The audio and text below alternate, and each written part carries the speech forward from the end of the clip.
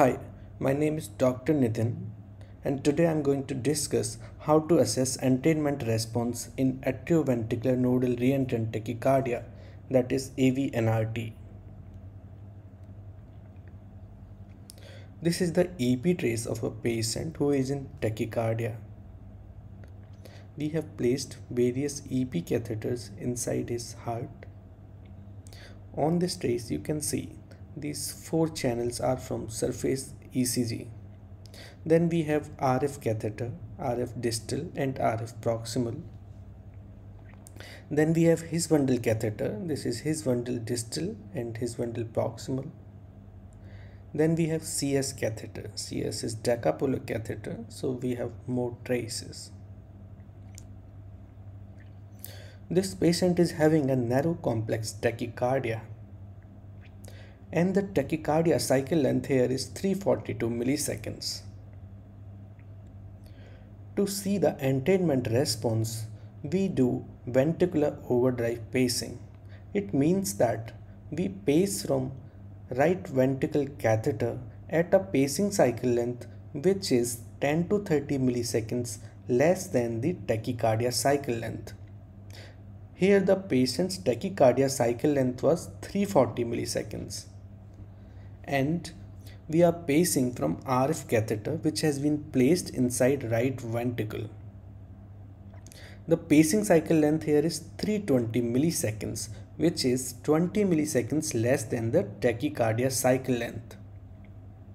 Once we start pacing from right ventricle, the morphology of the QRS changes until it becomes fully captured. Once we are sure that ventricle is being captured, then we stop pacing to see the response of entrainment. Before seeing the response of entrainment, there are some conditions which should be fulfilled. First of all, capture of the ventricle should be ensured by the pacing stimulus. Second condition is there should be advancement of A waves. It means that A interval should be equivalent to pacing cycle length. And third condition is that when we stop pacing, tachycardia should continue.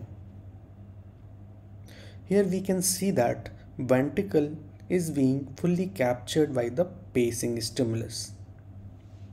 As we can see this widening of QRS at the time of pacing compared to native tachycardia where QRS morphology or QRS width is narrow.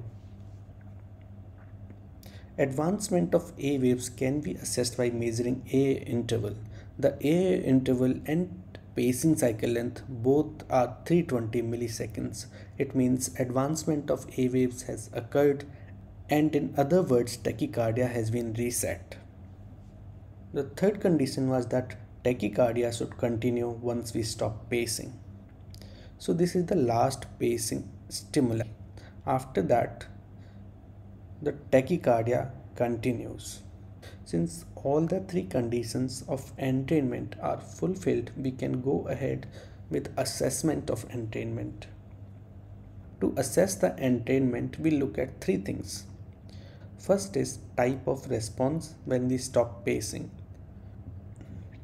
Second is the difference of post-pacing interval and tachycardia cycle length and third is stimulus to A minus VA interval. To assess type of response, once we stop pacing, then we look at various waves. Once we stop pacing, there is a V wave which is followed by A wave and there is appearance of V wave. So this response is called VAV response. This VAV response is also called as VAHV response when we are able to see a small h just before the V wave. Based on this type of response, we can differentiate between various narrow complex tachycardias. VAV or VAHV response is seen in cases of AVNRT or AVRT. Whereas VAAV or VAAHV response is seen in cases of atrial tachycardia. Sometimes we may see pseudo VA AV response, which is seen in cases of atypical AVNRT or slowly conducting retrograde accessory pathways. Here the type of response is VAV and this VAV response goes in favor of either AVNRT or AVRT and it excludes atrial tachycardia.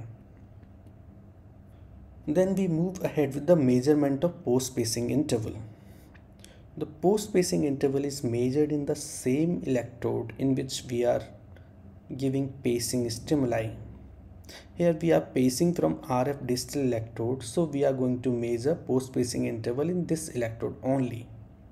The post-pacing interval is measured from the last pacing stimulus to first spontaneous V wave. Here the post-pacing interval is 560 milliseconds. Then we reconfirm tachycardia cycle length. We have stopped pacing here and this is native tachycardia going on. The tachycardia cycle length is still same 340 milliseconds. Then we look at this difference between post-pacing interval and tachycardia cycle length. The difference between post-pacing interval and tachycardia cycle length here is 220 milliseconds. Based on this difference between post-pacing interval and tachycardia cycle length, we can differentiate between AVNRT and AVRT. When this difference is more than equal to 115 milliseconds, it goes in favor of atrioventricular nodal reentrant tachycardia that is AVNRT when this difference is less than 115 milliseconds, it goes in favor of AVRT, that is atrioventricular reciprocating tachycardia. In this case, the difference between post-pacing interval and tachycardia cycle length is more than 115 milliseconds, hence it goes in favor of AVNRT and it excludes AVRT. Then we measure SA minus VA interval. SA is stimulus to A interval. It is measured during pacing. SA is measured during pacing. So this is the stimulus till the appearance of A wave. This interval is called SA interval. It can be measured in on any of the lead where A wave is prominent in the same channel we have to measure VA interval here the VA interval is 38 milliseconds so the difference between SA and VA interval is 134 milliseconds based on this difference between SA and VA we can differentiate between AVNRT and AVRT when this difference is more than 85 milliseconds it goes in favor of AVNRT. When this difference is less than 85 milliseconds, then it goes in favor of AVRT. In our case, this difference is 134 milliseconds. Stimulus 2A minus V2A is more than 85 milliseconds, hence it goes in favor of AVNRT and this excludes AVRT. So based on the entrainment in this case, we have VAV response which goes in favor of AVNRT or AVRT and it excludes atrial tachycardia. Post-pacing interval minus tachycardia cycle length is more than 115 milliseconds and it goes in favor of AVNRT and it excludes AVRT.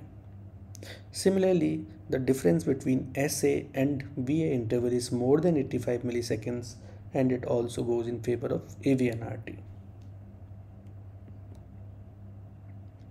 So based on the entrainment response, the final diagnosis in our case is AVNRT, that is atrioventricular nodal reentrant tachycardia. Thank you for watching this video. If you liked this video, then please subscribe to this channel. Thank you.